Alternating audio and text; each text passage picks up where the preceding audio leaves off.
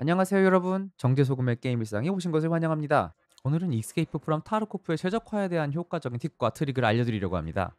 물론 60프레임이 144프레임이 되는 아, 일은 없지만 우리의 목표는 조금의 FPS 향상과 프레임 안정성, lag과 stuttering 감소 그리고 더 나은 색적과 그래픽을 위한 팁을 안내해드리겠습니다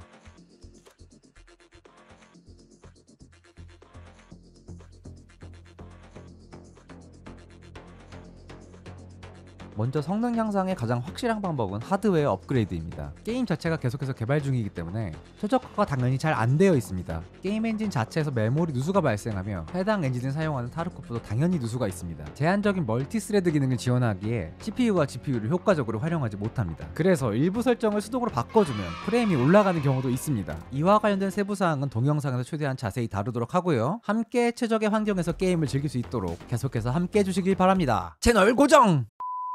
게임 설정에서 드라이버 설치까지 내려갈 예정입니다. 게임 설정부터 시작해 보겠습니다. 게임 세팅 설정에서 게임 메인 메뉴 바탕화면입니다. 공장이나 삼림을 추천드립니다. 테스트를 해본 결과로는 메모리를 연구소가 가장 많이 사용하는 것으로 나타났습니다. 자동 RAM cleaner를 체크해 주시고요. 테스트를 더 해봐야겠지만 활성화 시 성능이 좀 떨어지는 경향이 있습니다. 분리코어도 체크해 주시길 바랍니다. 추가적으로 공유드리고 싶은 건 자동 레몬 클리너는 선택적으로 사용이 가능합니다. 어, 예를 들면 게임을 오래 해서 느려졌는데 재시작이 귀찮을 때 사용하는 것을 추천드립니다. 사용법은 자동 램 클리너 체크 후 저장 그리고 다시 체크를 해제하고 저장하면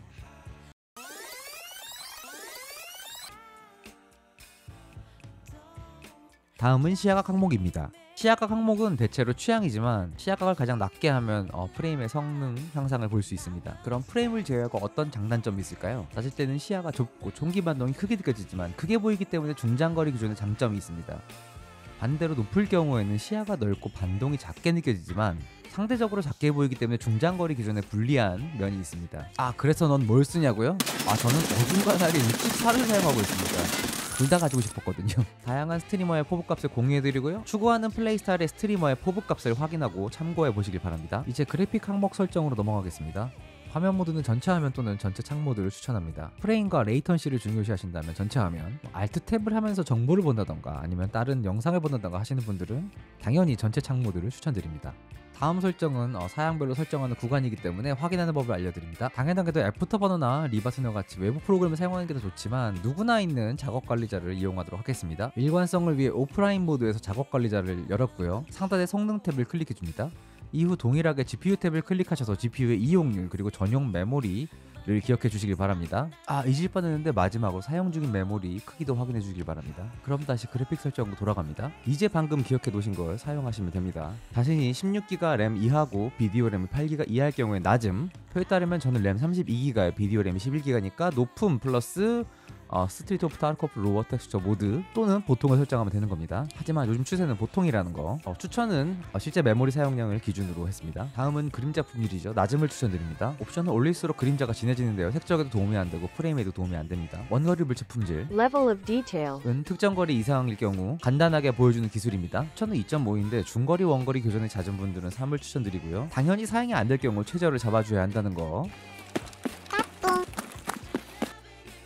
다음은 전체 가시거리. 전체 가시거리는 1500이나 1000을 추천드립니다.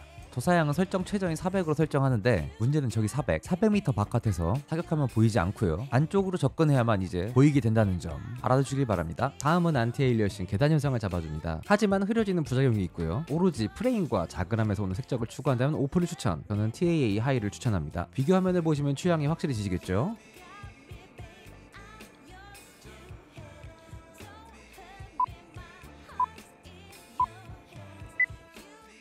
리샘플링은 보통 끄기를 사용합니다. 하지만 활용 가능한 때가 있는데요. 첫 번째로 사양이 낮을 때, 두 번째로 GPU 이용률이 남을 때 두 배를 사용하시면 선명도가 올라갑니다. 업스케일러는 오로지 DLSS만 추천드립니다. 사용할 만한 분들은 CPU 이용률은 낮은데 GPU 이용률이 높을 경우 켜시면 프레임이 증가하게 됩니다. 당연히 지연 시간이 늘어나고 원거리가 흐리게 보이는 단점이 있습니다. 이런 단점 때문에 거리가 있는 교전도 발생하는 타르코프에서는 추천하지 않습니다. 다음은 HBAO Horizon-based ambient occlusion. 사물의 모서리에 표시되는 그림자를 제어합니다. 프레임이 중요하다면 꺼주시고요. 조금 더 멋진 화면을 원한다면 최대 성능까지 추천드립니다.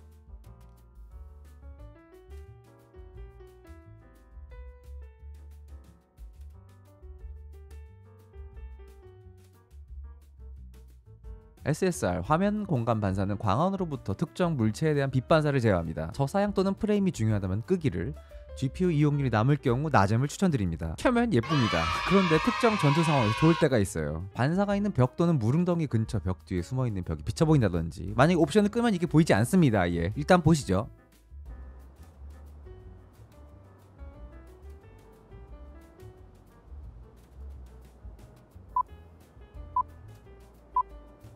이방성 필터링을 텍스처를 직각이 아닌 각도에서 볼 때 선명도를 제어합니다. GPU 성능을 사용하는데 켜기를 추천드리고 저사양일 경우 텍스처마다를 추천합니다. 라데온과 인텔 그래픽카드 사용자는 활성화되지 않은 옵션 엔비디아 Reflex입니다. 일단 켜기를 추천드립니다. 켜기 플러스 boost 옵션은 되려 프레임이 떨어지고 안정적이지 못한 결과를 가져옵니다. CPU 사용률이 올라가고요. 그럼 다음 선명도입니다. in-game 화면의 선명도를 조절하는 기능이고요. 설정에 따른 큰 프레임 차이는 없습니다.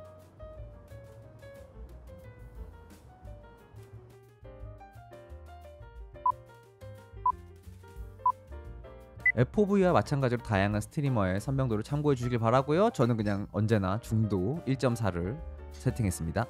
하단 메뉴는 전부 해제해 주시고요. 그나마 이 중에 쓸만한 건 이제 mip streaming인데요. 저사양 유저의 경우 해당 기능을 써보는 것을 추천드립니다. 텍스처가 다 뭉그러지지만 저사양 유저들에게는 많은 성능의 향상이 있습니다. 그리고 버그가 있어서 다른 텍스처가 이상하게 보이거나 뭐 예를 들면 비가 올 때 풀잎이 검게 보인다거나 하는 현상이 있습니다. 어느덧 post effect 탭이네요. in-game의 색감을 변경하는 기능인데 색적에 도움을 줄 수 있습니다. 이것도 색감 영역이라 취향이긴 하죠. 일단 저는 사용하지 않습니다. 제가 디폴트 설정을 좋아하는 것도 있지만 사용 시에 프레임이 떨어지기 때문입니다. 특히 명도, clarity죠. adaptive sharpen이 GPU를 잡아먹습니다. 테스트에선 4에서 5프레임 정도 잡아먹고요. 개인적으로는 프레임 저하 없는 엔비디아 제어판을 만지는 게 더 좋다고 생각합니다. 그래도 취향이 다른 분들 설정을 보고 본인이 원하는 색감을 찾아보세요.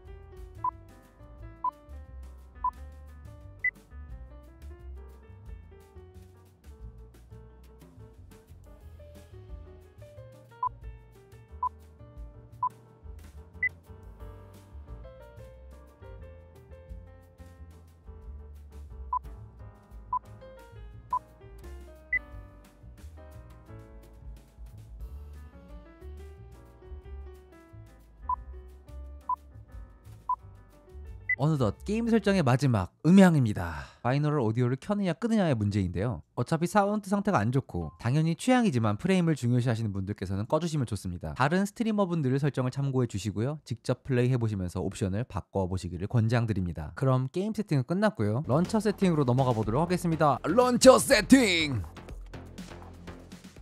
먼저 제 더러운 바탕화면에 오신 것을 환영합니다. 먼저 런처와 타르코프 실행 파일에 관리자 권한을 부여합니다. 해외 최적화에서 나오길래 따라해봤는데 이유는 모르겠지만 관리자 권한을 줄 경우 프레임이 상승하는 결과를 얻었습니다. 윈도우 버튼을 눌러서 런처를 우측 마우스를 클릭해줍니다. 파일 위치 열기를 선택해 주시고요. 바로 가기를 우측 마우스 버튼으로 메뉴를 열고 속성을 선택해 주시면 됩니다. 이후 호환성 탭을 열고 하단에 관리자 권한으로 이 프로그램 실행을 체크하신 후 적용을 눌러주시면 됩니다. 런처는 넣었으니 이제 실제 실행 파일도 똑같이 해주시면 됩니다. 먼저 런처를 실행. 관리자 권한 실행이 된다면 이렇게 계정 컨트롤이 나오고요. 실행되면 런처 중간에 게임 세팅 메뉴 클릭 메뉴가 열리면 browse local files 클릭 escape from tarkov.exe 파일을 우측 마우스를 열어서 속성 메뉴를 선택하여 런처와 동일하게 호환성 탭을 열고 관리자 권한으로 이 프로그램 실행을 체크 후 확인 버튼을 클릭해 주시면 됩니다. 그럼 이제 관리자 권한으로 실행됩니다. 남은 걸 더 해보죠. 세 가지가 남았습니다. 동일하게 게임 세팅 메뉴를 오픈해 주시고요. logs 메뉴를 클릭 폴더가 열리면 로그로 시작되는 폴더를 모두 삭제해 주시면 됩니다. 해당 폴더는 레이드를 할 때마다 생성되며 내부에는 bug fix를 위한 정보들이 담겨 있습니다. 하지만 주기적으로 삭제되는 것이 아니라서 일일이 관리를 해줘야 합니다. 앞으로도 기억나시면 틈틈이 삭제해주시면 됩니다. 런처 실행 설정 바꿔보겠습니다. 우측 상단의 온라인 메뉴 클릭 메뉴가 열리면 런처 세팅을 클릭해 주십시오. When I close the launcher window를 exit the launcher로 설정. When I launch the game 항목을 exit the launcher completely로 설정합니다. 그럼 런처 설정도 마무리되는군요. 아, 이제 어느덧 기본적인 윈도우 설정과 엔비디아 설정만이 남아 있습니다. 그럼 가보시죠. Windows setting.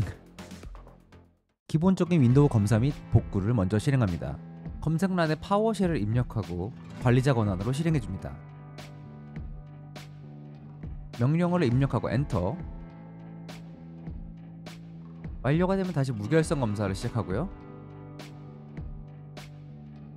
완료되면 툴을 실행합니다. 자막의 명령어를 실행합니다. 유튜브 설명란에 있으니 붙여서 넣어주시면 되고요. 여러 기능이 있지만 상단의 tweak 메뉴로 이동해 주시기 바랍니다. 상단 메뉴 바로 아래 recommended 섹션에서 해당하는 설정을 클릭해 주시면 됩니다. 저는 데스크탑이니까 데스크탑을 클릭했습니다. 이대로 run tweaks 버튼을 누르셔서 적용하셔도 되고요. 개인적으로는 본인이 IP 버전 6를 사용 안 하신다면 disable Teredo 그리고 disable IP 버전 6도 체크해 주시길 바랍니다. 물론 OneDrive도 사용 안 하신다면 리무브 원드라이브까지도 체크하시면 좋습니다. 선택이 끝났다면 Run Tweaks 버튼을 클릭해 주세요. 적용이 완료되면 Finish라는 메시지가 노출됩니다.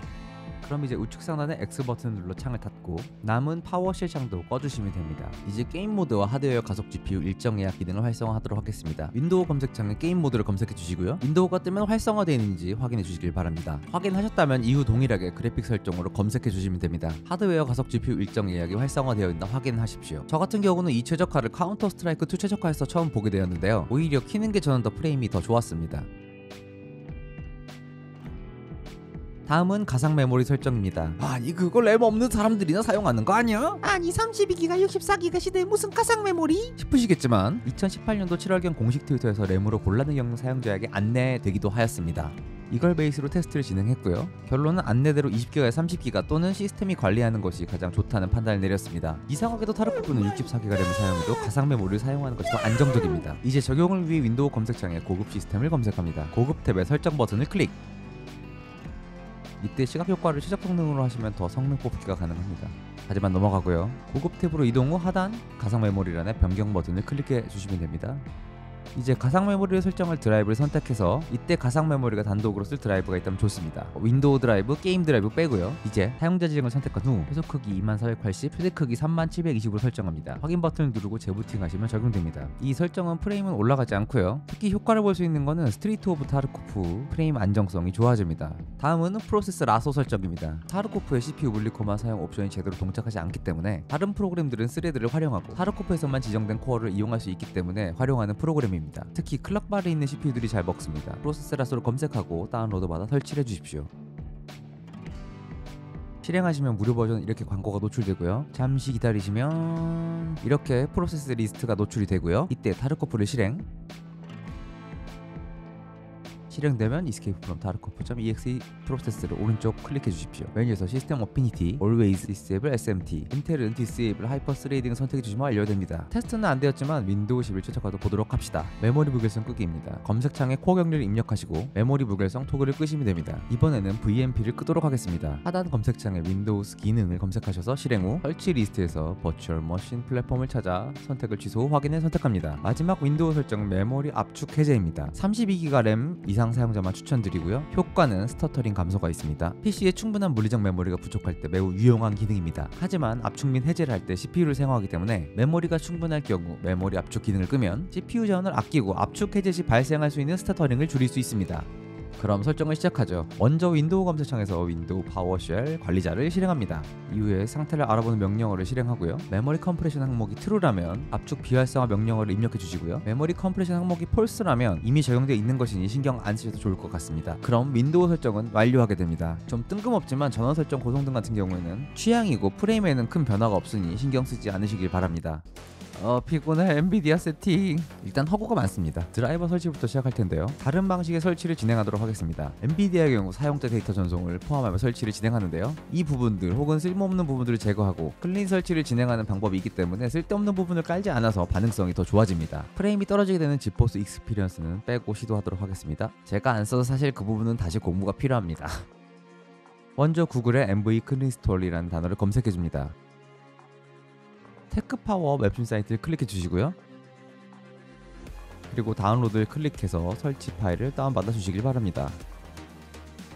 실행 시 네 가지 옵션이 노출이 되고요. 첫 번째는 본인 하드웨어의 best driver install, 두 번째는 직접 다른 버전의 드라이버를 선택할 수 있고요. 세 번째는 하드디스크에 적용된 드라이버가 있을 경우고요. 네 번째는 현재 NVCleanstall을 설치하는 것입니다. 필요 없으니 첫 번째 또는 두 번째 항목을 선택하셔서 원하는 버전을 깔아주시면 됩니다. 이후에 필요한 component를 선택하시면 되는데요. 우측에 항목별로 설명이 있으니까 그걸 읽어보신 다음에 선택하시면 됩니다. 이제 드라이버를 다운로드 받아주고요. 완료가 되면 왜 안 나와? 이제 핵심인 tweak을 설정하면 됩니다. 그림과 같이 설정해 주시면 되고요. X 버튼을 누르면 설정대로 드라이버를 구성하고요. 완료되면 바로 install 버튼을 누르셔서 설치하시면 됩니다. 저는 latency가 150 마이크로초에서 50 마이크로초로 줄어들었습니다. 엔비디아 settings 보통 기본 설정이 좋기도 하고 효과 없는 가짜 정보들이 굉장히 많습니다. 그런 소문들을 테스트해가면서 그나마 효과가 있었던 일부 설정을 공유드립니다. shader cache size 변경입니다. Star Citizen에서는 해당 최적화가 아주 일반적인데요. 포럼에서 이 변경에 대해서 성능이 증가하는 이유라는 글을 찾아볼 수 있었습니다. 요약하면 shader cache 크기는 드라이버 버전에 따라 512MB, 1GB 같이 점점 크게 증가해왔습니다. 드라이버는 shader cache 크기가 최대 크기를 초과하면 자동으로 cache를 정리합니다. 문제는 버그가 있어서 이 shader cache가 지속적으로 정리 상태로 들어가는 경우가 있습니다. 그래서 cache를 크게 잡으면 정리하는 빈도가 적어지거나 동작을 하지 않아서 결과적으로 stuttering과 프레임에 도움이 된다라는 겁니다. 그리고 그 글에는 그래픽 디렉터가 긍정적인 의견을 주었습니다. 뭐 완전히 뻥은 아닌 거겠죠? 아, 결론은 뭐냐고요? shader 크기를 10기가 이상으로 잡아라 라는 겁니다. 제가 했던 테스트에서는 모두 오차 범위 이내 결과를 얻었지만 주목해야 될 건 0.1% low 프레임입니다. 그럼 이제 3D 설정 관리, 전역 설정, shader cache 항목을 10기가로 설정해 주시면 됩니다. 당연히 확인을 누르고 적용을 해주시면 되고요. 그럼 이제 남은 항목은 프레임과 상관없는 가시성 옵션입니다. 바로 texture filtering, 음성, LOD bias 항목입니다. 프레임에는 큰 차이가 없어서 그냥 무시하고 넘어가려고 했는데요. 제어판 설명에 화질 이야기가 있길래 가시성 테스트를 진행해 보았습니다.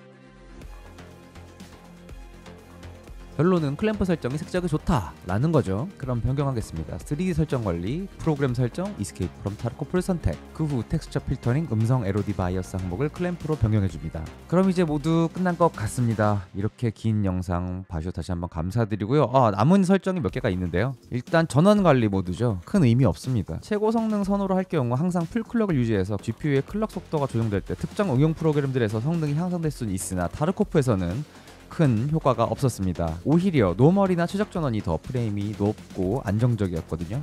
그리고 저지연 모드 프레임이 중요한 사람일 경우에는 어, 끄시는 게 좋습니다. 그리고 texture filtering 중에 품질 항목이 있는데 그 항목 같은 경우에는 고성능으로 맞추면 자기가 설정한 그래픽을 드라이버 쪽에서 낮춰서 프레임이 아주 살짝 올라갑니다. 40프레임 정도 되는 사람이 1, 2프레임 정도 오를 경우니까 굳이 뭐 설정 안 하셔도 될 것 같습니다. 사실 몇 가지 설정이 더 있는데 그 부분은 어, 나중에 조회수가 좀 나온다면 나온다면 예 나온다면 한번 만드는 걸 고려해 보도록 하겠습니다. 모두 봐주셔서 감사드리고요. 이 콘텐츠를 만드는 과정에서 협조해주신 시청자분들 그리고 자신의 정보 공유에 동의해주신 스트리머분들께 감사드립니다. 평일 저녁 11시에는 라이브 중이니 관심 있으신 분들은 참여해 주시길 바라고요. 그럼 좋아요, 댓글, 구독 부탁드리며 다음 영상에서 뵙겠습니다. 모두 안녕히